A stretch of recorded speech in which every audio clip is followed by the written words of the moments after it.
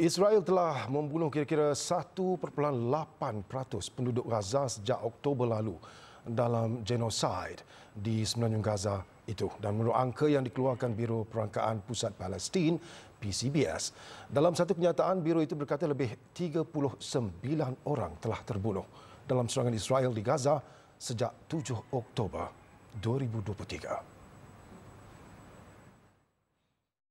Menurut biro itu, kira-kira 24% daripada mangsa kekejaman Israel di Gaza adalah golongan muda. Tentera rejim Israel pada Sabtu telah membunuh lebih 100 orang awam dan mencederakan berpuluh-puluh lagi apabila pesawat perang menyasarkan rakyat Palestin yang menunaikan solat subuh di sekolah agama At-Tabi'in di kawasan kejiranan Daraj di Bandaraya Gaza.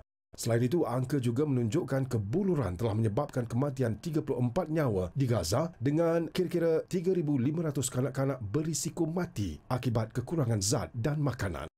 Menurut biro itu, kira-kira 70% daripada mangsa yang cedera di Gaza adalah wanita dan kanak-kanak, manakala kira-kira 10,000 orang masih hilang dan kira-kira 2 juta penduduk telah hilang tempat tinggal. Di tebing barat pula, 620 rakyat Palestin telah syahid ditembak tentera Israel dengan kira-kira 75% daripada kematian adalah di bawah umur 30 tahun.